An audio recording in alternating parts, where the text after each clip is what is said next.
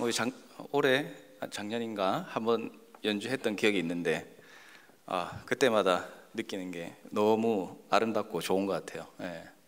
눈 감고 듣고 싶은데 잠들까봐 눈은 못 감겠고 예, 너무나 아름다운 찬양 하나님께서 기뻐 받으셨으리 이렇게 생각을 합니다.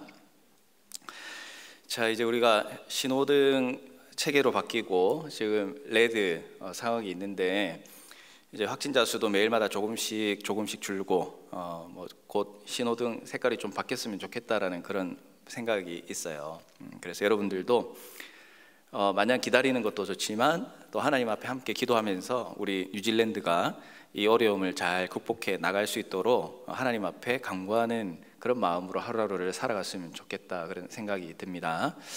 어, 마스크 끼고 있으니까 답답하죠. 예, 이게 답답 한데 뭐 벗으라는 얘기는 아니고 이제 자유롭게 어, 이제 어, 우리가 가능한 가급적이면 끼고 예배를 드리되 또 어, 힘들고 그런 친구들은 잠시 또 벗고 있고 그렇게 해도 법적으로 문제가 없으니까 어, 그렇게 개인적으로 어, 보시고 하시면 되고 꼭 기억해야 되는 게 이 갑갑함을 여러분들이 좀 기억을 잘 했으면 좋겠어요. 아, 이 마스크를 끼고 살고 예배를 드린다는 게 엄청 답답하고 막 힘들잖아. 예. 이렇게 힘든데 우리가 이 마스크를 벗고 자유롭게 하나님 앞에 또 곧 예배를 드릴 때 우리 이 순간을 좀 기억하면서 야, 이 하나님 앞에 자유롭게 또 기쁨으로 마음껏 나아갈 수 있다는 것이 얼마나 참 감사하고 또 행복한 일인가 하는 것을 여러분 지금 마스크를 이렇게 끼고 있는 순간에 참 그렇게 기대하는 마음을 가지고 우리가 그날을 기다렸으면 좋겠다라는 그런 생각입니다. 우리가 지난주에 이어서 레이기 말씀을 이제 함께 나누고 있는데 지난주에 이제 우리 기준을 살아가는 인생 가운데에 기준을 잘 잡자고 여러분에게 말씀을 드렸어요. 우리가 세상에서 여러 가지 기준을 세우고 목표를 세우고 살아갈 수 있지만 결국은 우리가 실패하지 않고 또 하나님께서 우리의 삶을 인도해 나가실 그 하나님이 원하시는 목적대로 또 하나님을 기준으로 우리가 우리의 인생을 살아간다면 우리는 결코 실패하는 인생이 아니라 하나님이 기뻐 받으시는 인생을 살아갈 수 있다. 그렇게 이제 말씀을 함께 나누었습니다. 자, 그리고 이제 이어서 오늘 우리가 이 같은 본문을 가지고 함께 나눌 내용은 무엇이냐면 좀 잘 분별하면서 살아야 된다라는 그런 주제입니다.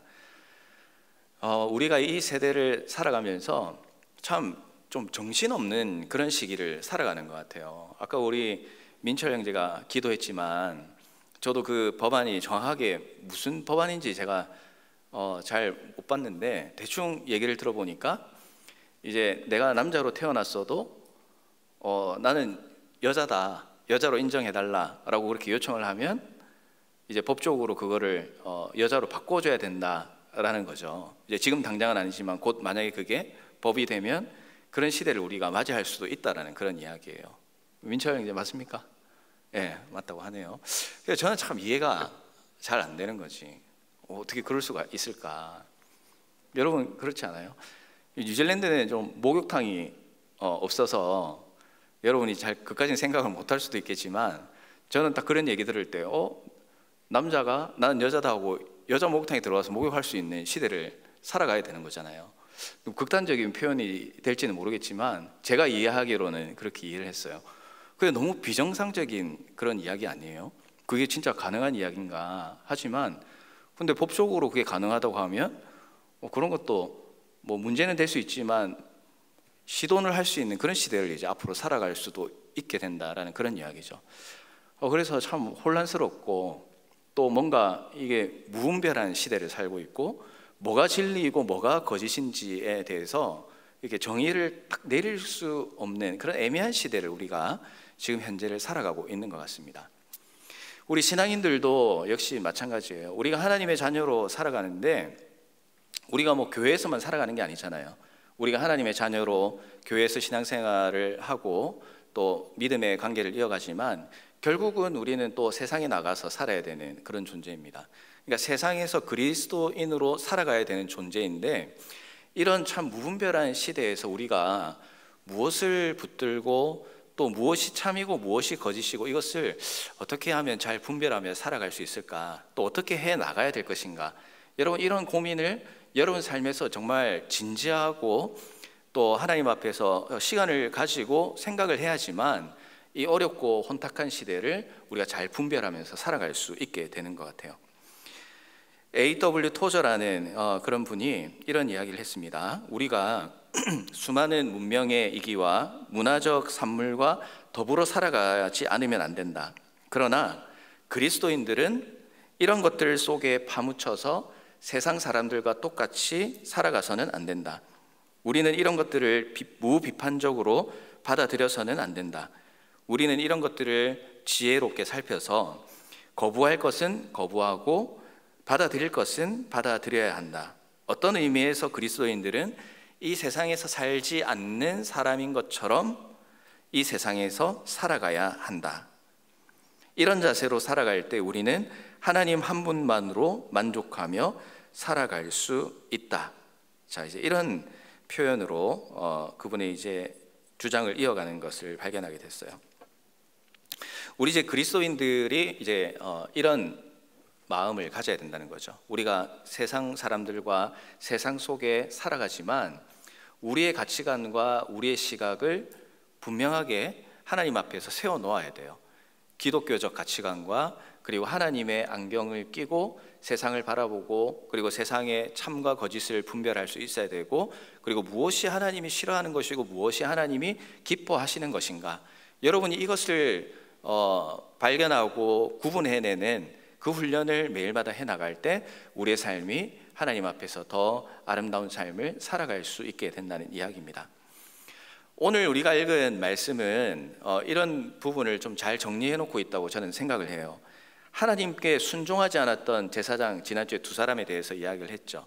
이 두 사람이 하나님이 명령하신 대로 또 하나님이 정해 놓으신 뜻대로 가지 않고 또 순종하지 않았을 때 그 결과가 참 비참하고 어, 사람들에게 어, 박수 받지 못할 그런 삶을 살았다는 것을 우리가 말씀을 통해서 살펴봤습니다. 하나님께서 우리를 구원하신 뜻, 또 우리가 이 세상 가운데 어디로 걸어가야 하는가 하는 그 방향은 어디일까 하는 것을 우리는 생각해 봐야 됩니다. 오늘 말씀을 통해서 우리가 이 하나님 앞에서 우리가 어떻게 하면 좀 더 분별하는 삶을 살 수 있을지 한번 살펴봤으면 좋겠어요. 8절부터의 말씀에 보면 이제 제사장이 주의해야 될 그런 사항에 대해서 기록을 하고 있습니다.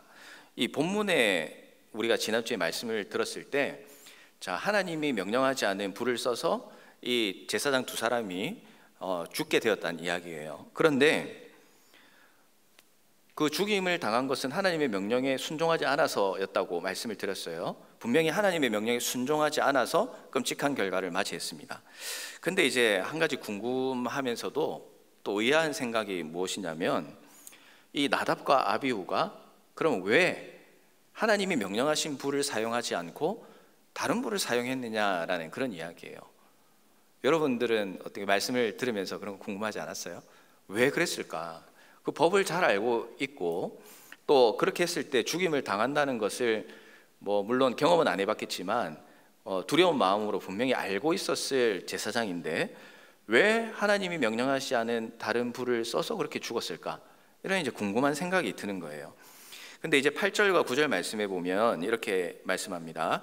여호와께서 아론에게 말씀하여 이르시되 너와 내 자손들이 회막에 들어갈 때에는 포도주나 독주를 마시지 말라. 그리하여 너희 죽음을 면하라. 이는 너희 대대로 지킬 영영한 규례라라고 말씀을 하고 있어요. 자, 저는 여기에서 이제 답이 나와 있다고 그렇게 생각을 합니다. 나답과 아비후가 죽었어요. 그리고 어쨌든 장례를 치렀습니다. 그렇게 이제 치르고 난 다음에 하나님께서 명령하신 게 무엇이냐면 바로 이 내용이에요. 포도주나 독주를 마시지 말라. 이 죽음과 그 죽음이 마무리되고 난 이후에 하나님께서 명령하신 게 포도주와 독주를 마시지 말라는 거죠. 이 제사장의 규례를 보면 금주, 그러니까 술을 금해야 되는 규례가 있어요. 특별히 제사장은 하나님을 섬기기 위해서 성소에 들어갈 때는 술을 마시는 것이 금지가 되어 있었습니다. 그런데 이 규례가 지금 어때요? 나답과 아비우가 죽은 직후에 기록이 되어 있다는 그런 이야기예요. 자, 여기에서 이제 우리는 자연스럽게 한번 생각해 볼 수가 있는 거죠. 영적으로는 하나님의 명령에 순종하지 않았다라는 거 분명히 알지만 그럼 우리 인간적인 시각으로 보았을 때에 그럼 무엇을 잘못했느냐? 그것은 바로 그들이 술을 마심으로써 하나님의 명령에 불순종하게 되었다. 그러니까 술을 마시면서 정상적인 생각을 하지 못하고 술을 마시면서 하나님이 기뻐하시는 그런 뜻을 분별하지 못하는 상태가 되었다라는 그런 이야기예요. 성령 하나님의 취하고 하나님의 명령에 가득 찬 삶을 살아야 되는데 하나님이 기뻐하시지 않는 것이 삶에 가득 차면 결국은 하나님이 원하시지 않는 결과와 방법으로 나타날 수밖에 없다는 것을 여러분 오늘 이 말씀에서는 우리에게 가르쳐 주고 있는 것 같아요. 참 중요한 부분 그리고 메시지라고 할 수가 있습니다. 여러분 술이라는 것 잘 알죠? 어, 술 좋아합니까? 관우? 별로 안 좋아하지? 네. 그래 안 좋아하게 생겼어요. 자, 술이 요즘 시대에 우리가 살아가면서 뭐 여러분들은 안 그렇겠지만 세상에 살아가는 사람들은 이 술의 영향을 참 많이 받고 살아갑니다. 자, 술이 특징이 무엇이냐면 이 우리를 부주의하게 만들고 그리고 절제력을 잃게 만드는 그런 성격이 있어요. 그리고 이 술을 가까이 하게 되면 분별력과 판단력을 흐리게 됩니다. 그래서 이제 술을 마실 때 보면 기쁠 때도 마시고 슬플 때도 마시고 속상할 때도 마시고 술 좋아하는 사람은 여러 가지 이유를 가지고 마시잖아요. 그런데 이제 특별히 이제 슬플 때 술을 마신다라고 하면 아, 술이라도 마셔야 이 아픔을 잊을 수 있기 때문에 마신다라고 그렇게 이야기를 해요. 그 말은 무슨 말이에요?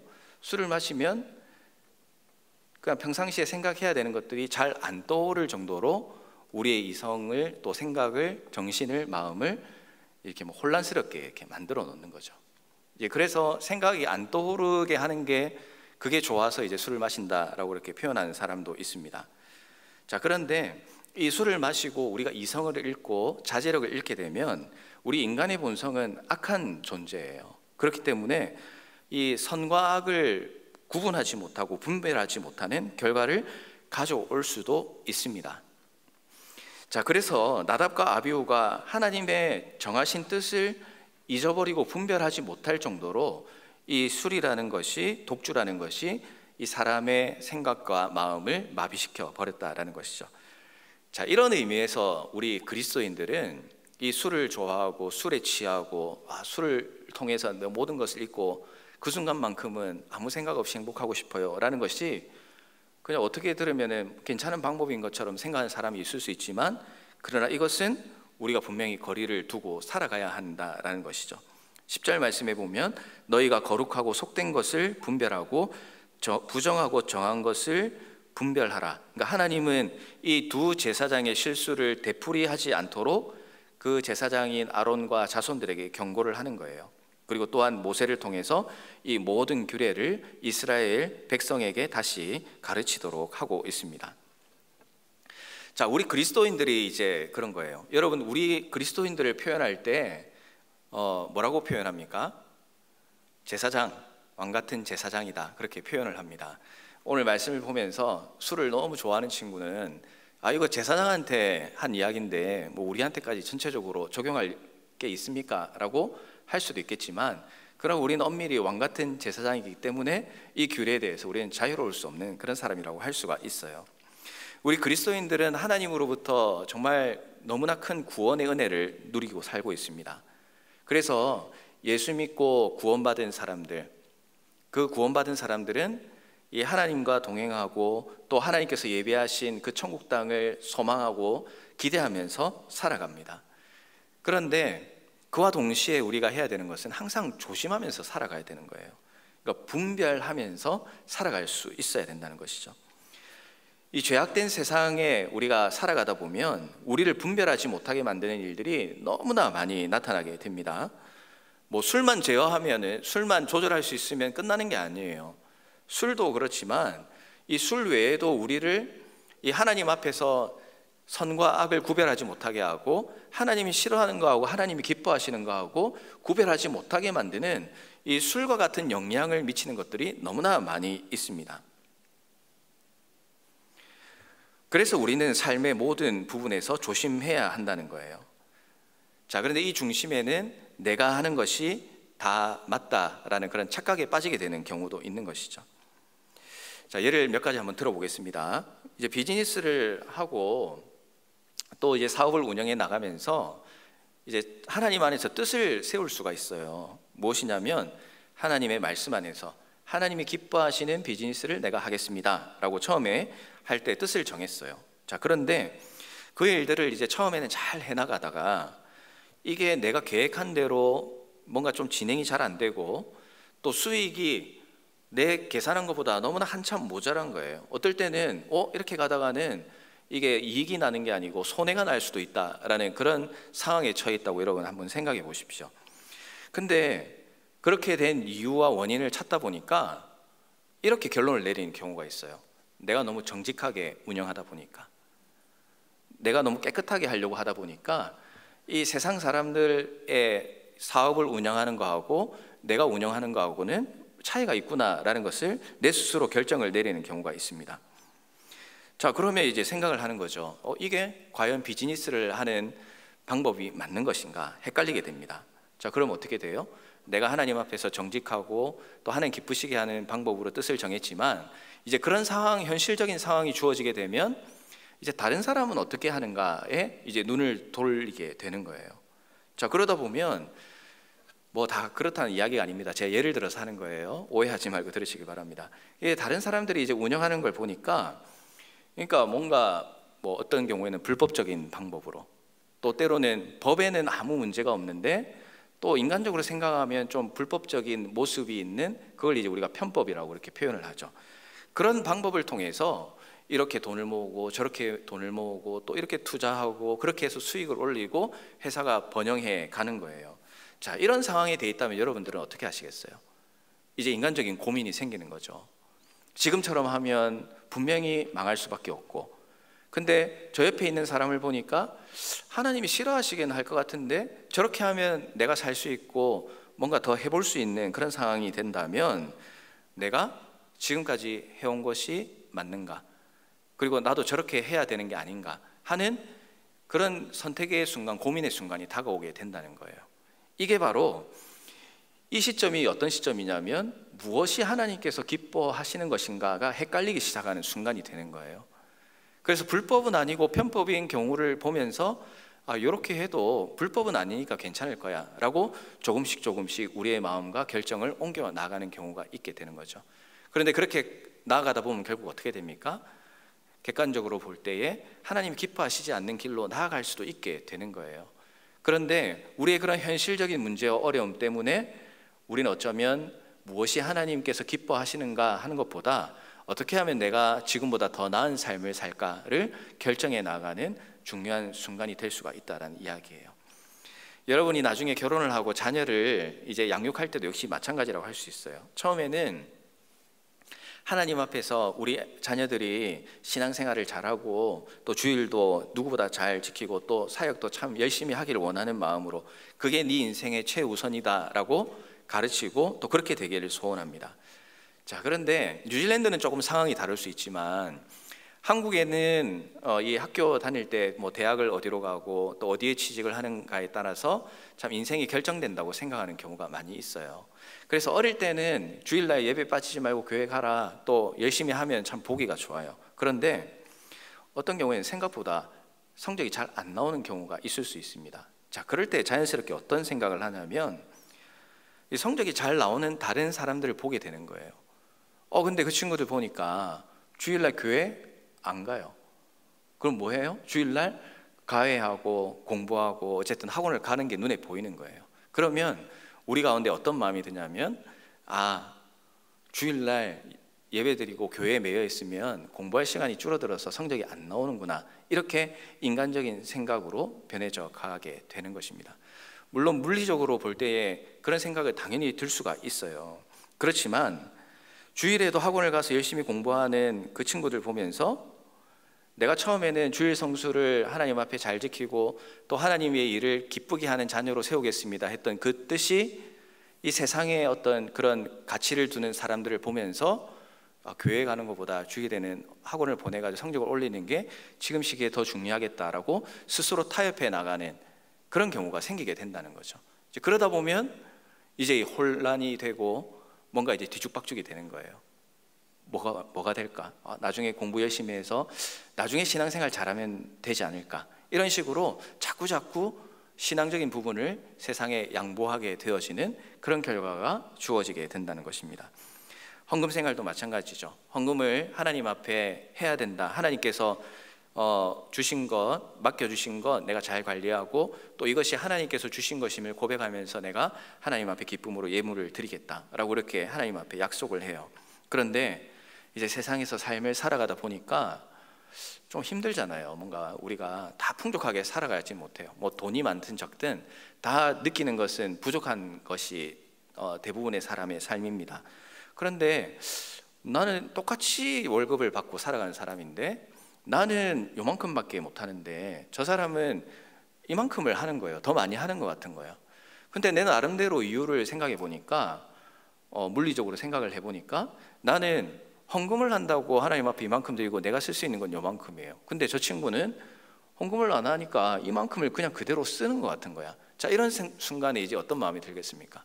내가 하나님 앞에 헌금 드리는 것이 기쁨이 되는 것이 아니라 이게 불, 불, 불평이 되고 불만이 되는 거예요. 내가 손해라고 생각이 드는 거죠. 내가 너무 억울하다는 생각이 들 때가 있는 것입니다. 이외에도 너무나 많이 있어요. 우리를 처음 정했던 뜻대로 하나님이 기뻐하신 대로 살겠다라고 하지 못하게 만드는 그런 어려운 상황들이 주어지고 또 나답과 아비우를 혼란스럽게 만들었던 그 술과 같은 문제들이 우리의 현실의 삶 가운데 앞으로 여러분 살아가다 보면 훨씬 더 많이 나타날 수 있게 된다는 사실이에요. 지금 제가 여러분에게 말씀을 드리는 가운데 아, 각자에게 아마 떠오르는 게 있을 거예요. 아, 내가 지금 이런 부분에 있어서 좀 고민이 되고 혼란스러운데 이런 어려움들이 떠오를 것입니다. 또 그 유혹을 참 떨쳐버리기가 어려운 그런 순간을 맞이할 때도 있어요. 그러나 여러분에게 말씀을 통하여 분명하게 말씀드릴 수 있는 것은 우리가 그 분별력을 놓쳐버리고 잃어버리는 순간에 우리는 반드시 비참하게 변해갈 수 있다는 사실을 꼭 기억을 해야 돼요. 분별하지 않기로 결심하고 잠깐의 만족과 유익을 누릴 수 있어요. 조금 더 누릴 수 있고 조금 더 기쁠 수 있습니다. 인간적으로요. 그러나 그와 동시에 어떻게 되느냐? 우리의 신앙은 추락하게 되는 것입니다. 한 번 범죄하는 것은 어렵지만 두 번, 세 번 범죄하는 것은 어려워요. 처음에는 불법 아닌 이런 조그만 편법쯤은 해도 괜찮다라고 생각하고 손을 대지만 그것에 손을 대면은 또 그 다음 더 큰 것이 눈에 들어오고 나중에는 잘못된 길에까지 손을 내밀 수 있게 되는 거예요. 그리고 죄책감도 없어지는 거죠. 누구나가 다 이렇게 사는데 나는 왜 이렇게 살면 안 돼? 당당하게 살아가는 것입니다. 그래서 오늘날 우리가 교회가 뭐 세속화가 되었다, 교회가 교회답지 못하다라고 이야기한 친구들도 있고 들은 친구들도 있을 거예요. 그런데 뭐 거기에 온갖 평가를 하고 문제 제기를 하고 이유를 뭐 복잡하게 갖다 댈 필요가 없어요. 하나님께서 주신 말씀대로 살아가지 못하고 하나님께서 나에게 내가 어떻게 살아가고 하나님이 나에게 무엇을 원하시는지에 대한 분별력을 상실했기 때문에 우리가 하나님 앞에서 올바른 교회의 모습으로 살아가지 못한다는 사실을 기억해야 돼요. 그래서 이런 말이 있습니다. 아무 정보도 가지고 있지 않는 것이 거짓 정보를 가지고 있는 것보다 낫다. 이런 이야기가 있죠. 그러니까 처음 여행하는 사람들에게 길을 잘못 가르쳐 주면 엉뚱한 방향으로 가고 엉뚱한 기차를 타게 되면 정말 엄청 심각한 결과를 가져올 수 있어요. 정말 여기가 어딘지도 모르는 곳에 도착해서 어디로 가야 될지 모르는 상황에 빠질 수도 있습니다.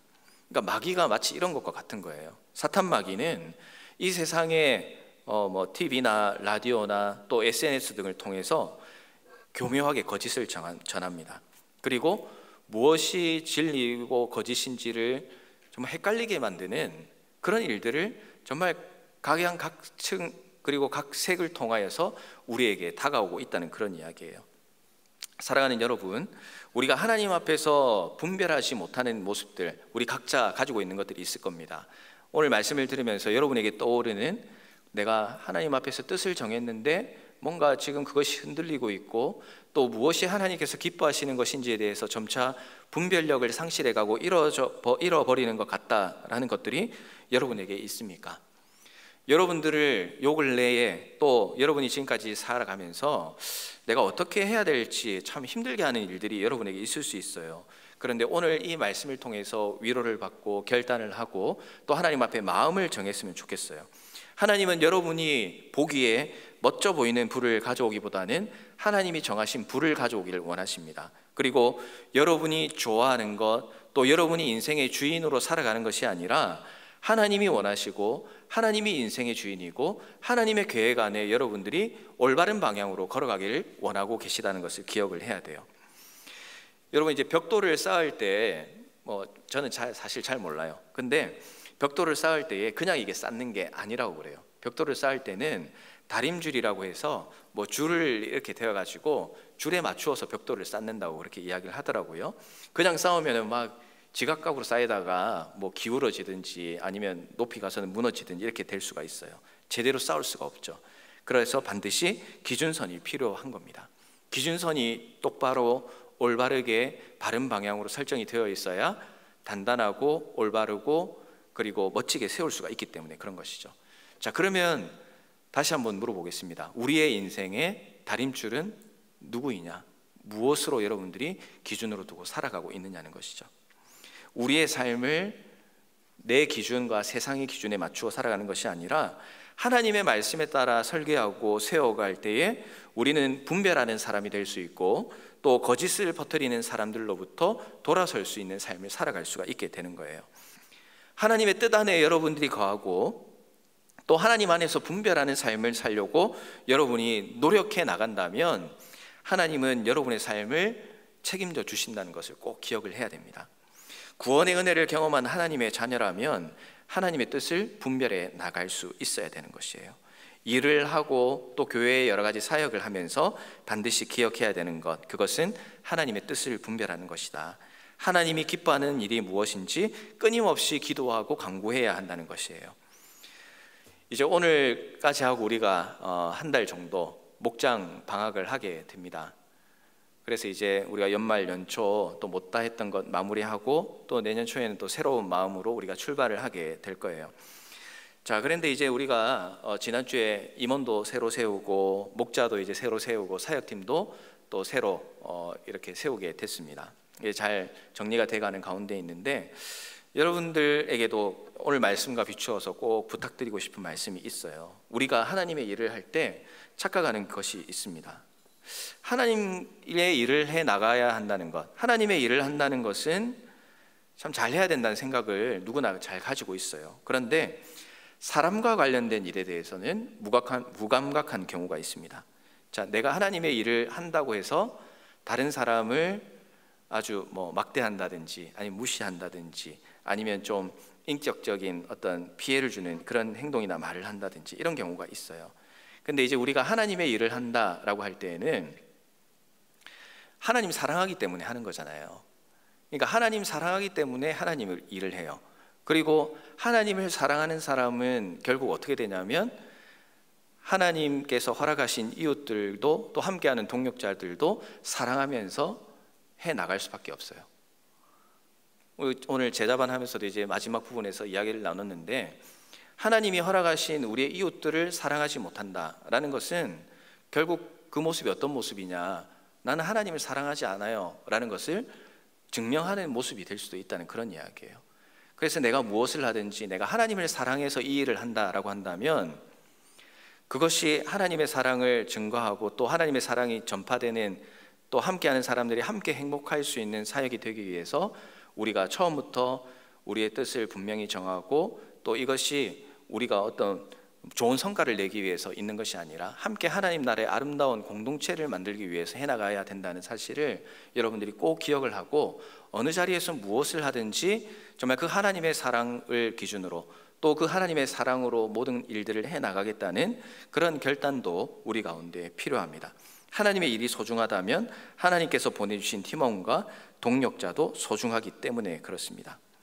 자, 그래서 말씀을 좀 정리할게요. 여러분, 이 혼란스러운 세상, 또 어떻게 보면 혼탁하다고 보이는 이 세상을 우리가 살아가면서 하나님의 명령을 참 떠올리고 또 하나님의 명령에 순종하고 또 하나님이 원하시는 길이 무엇인지를 분별하고 바른 길로 걸어 나가는 것은 이게 참 쉬운 일은 아니에요. 너무나 어렵습니다. 사탄 마귀가 우리를 계속 혼란스럽게 만들고 또 현실적인 문제를 통해서 우리를 자꾸 넘어뜨리려고 하기 때문에 그래요. 그렇지만 하지만 힘들어도 끝까지 견디고 그리고 분별하는 사람 그 그리스도인을 하나님께서는 기뻐하신다는 생각을 여러분 꼭 해야 돼요. 분별하고 하나님의 뜻에 따라 살아나가는 그 순간이 참 어떤 때는 힘들고 또 손해도 봐야 되고 또 아프기도 하고 그런 순간들이 있습니다. 그러나 여러분이 기억해야 되는 것은 그 순간순간에 주어지는 사람의 위로보다도 영원토록 우리와 함께 하시고 우리에게 기쁨을 주시겠다고 약속하신 그 하나님의 위로와 그리고 하나님의 격려를 기대하면서 오늘 우리에게 주어진 그 일들을 잘 분별하고 세상의 가치관에 흔들리는 것이 아니라 하나님 기준으로 살아가는 그런 여러분의 삶이 되어야 되겠어요. 그래서 우리가 이제 연말 연초 이제 곧 2022년도를 우리가 맞이해 가야 될 텐데 그때에도 변함없이 우리가 하나님께 순종하고 또 하나님 앞에서 분별하는 삶을 살겠다고 결단하시고 또 여러분의 삶이 좀 어, 하나님이 보시기에 지저분하고 정말 혼란스러운 그런 삶이 아니라 하나님 보시기에 참 아름답고 또 분명하고 또 멋지게 걸어갈 수 있는 그런 여러분의 삶이 되었으면 좋겠어요. 그래서 여러분이 있는 곳에 어, 여러분을 통하여 정말 변화가 있고 하나님의 사랑이 가득히 넘치는 그런 정말 축복의 통로로 살아가시는 우리 모든 청년 여러분 되시기를 주님의 이름으로 축원합니다. 자, 기도하겠습니다. 살아계신 하나님 아버지 은혜에 감사를 드립니다. 이 분별을 어떻게 해야